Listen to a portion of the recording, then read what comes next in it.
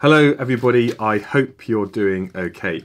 Now this video is really for students in year 11 and year 13 who would have done their real exams this summer, as well as I suppose some year 12 students doing AS level or even year 10 students who maybe were going to be entered for GCSE early. Now you can find all of this guidance on the Ofqual website.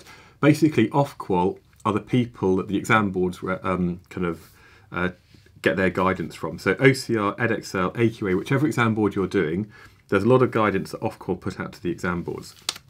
Now, this is aimed at teachers, students, parents, and carers. And at the moment, your teachers are doing a huge amount of work to get you the best grades possible. And it's not an easy task, it's almost an impossible job. But what I thought I'd do is I'd go through this and bring up uh, some of the questions that loads of students have been asking me. And this is because if you would have had exams in 2020, your grade that you're awarded is based on an assessment of the grade that you would likely have achieved if the exams had gone ahead.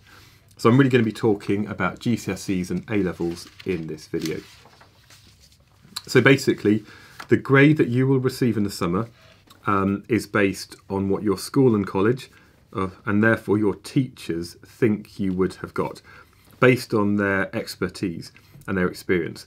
Now this includes things like mock exams, but your grade is not just based on one mock exam paper. It's based on maybe um, you know the fact that the teachers know you. They know how you get on in class. So it might be the quality of your books. It might be the questions you've answered in class. It might be any results of homework. And it's not just based on one thing. So if you did badly in your November mock exams, perhaps, that doesn't mean you will definitely get a bad result this summer. And it's based on the fact that your teachers have got a lot of experience of teaching students, and also, they will talk about you amongst their colleagues. So there's not going to be people doing this individually. There might be grades for the whole of your year group decided by the whole science department at your school. And really, in this video, I'm talking about science. Now, at some point after May, so um, June, July time, probably June, the your school will submit to the exam board the grade that they think you are most likely to get. And this is based on work you've done previously, and this is important. There's no requirement for the school to be setting you additional work, or even if you had coursework you hadn't completed, there is no requirement for you to be doing that because this is based on how you got on up until the school shut. And because the, the reason for that is that now, with school shutting and a completely, you know, unimaginable situation with a pandemic and the support at home not being what it was, it would be unfair to base your grades on the work that you've done since the schools have shut. And what the schools are going to do is they're going to basically provide a list to the exam boards saying what grade you probably would have got and also where you rank within that.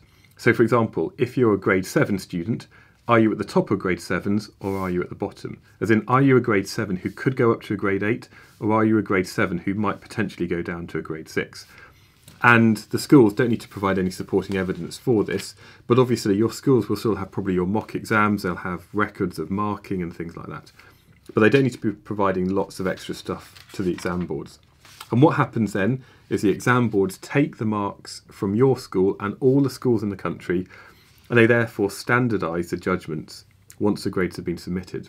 And that's going to take into account the thing, you know, things like, for example, how your school did last year.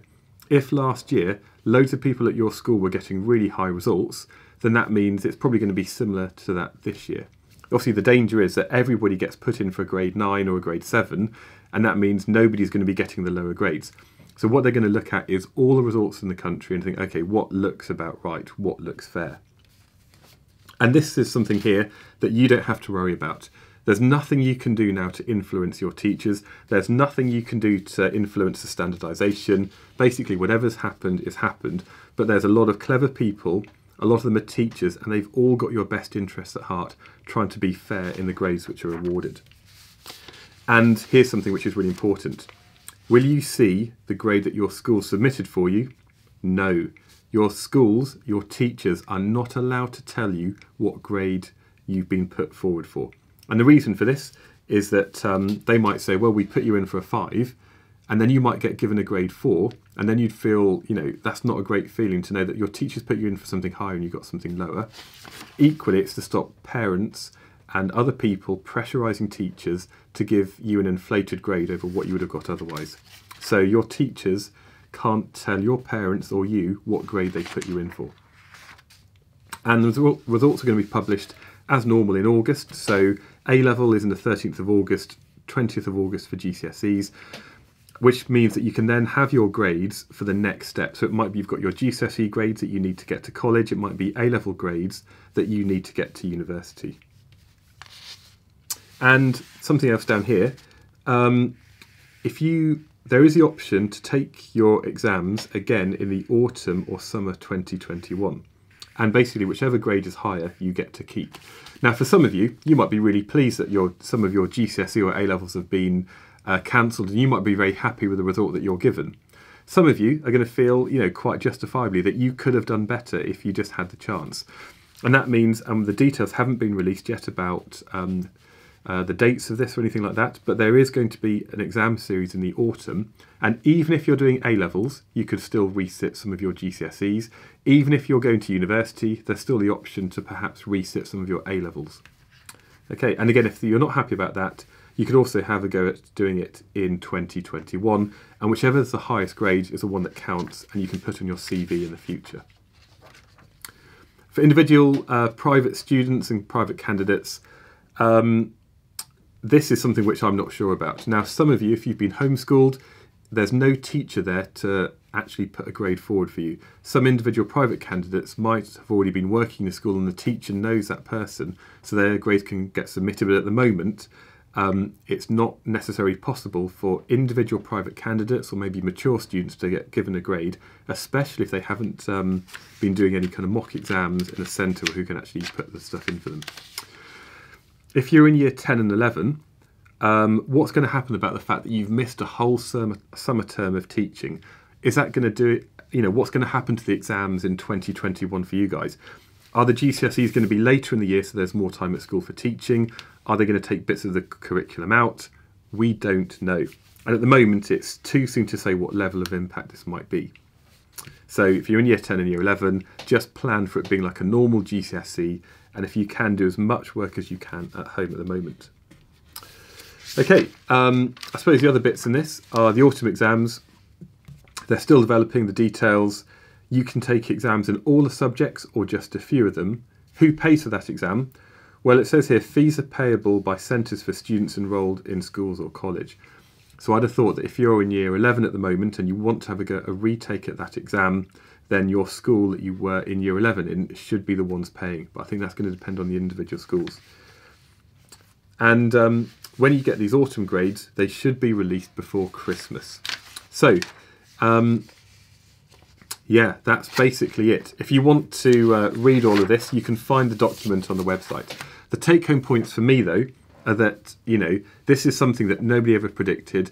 And at the moment, your teachers are doing the best they can to predict you and put in the highest possible grade that they think you are likely to have achieved. Um, they can't tell you what grade it is. And once they've submitted those grades, there's a whole other level of standardisation and mark adjusting going on by the different exam boards, all overseen by Ofqual. So effectively, broadly, the marks this year will be quite similar to the marks awarded last year for GCSEs and A level. So I hope whatever's happening at the moment that maybe helps you. I'm not sure. I hope that reassures you that um, people are doing what they can for you. And if you're really not happy, you can always do the exams again in the autumn or summer 2021. And again, I've got videos to help you if you're wanting to do retakes. Um, as well as all the other support that you've seen I've been putting out there for physics in general. So until then, uh, take care and I hope you're okay. Thank you.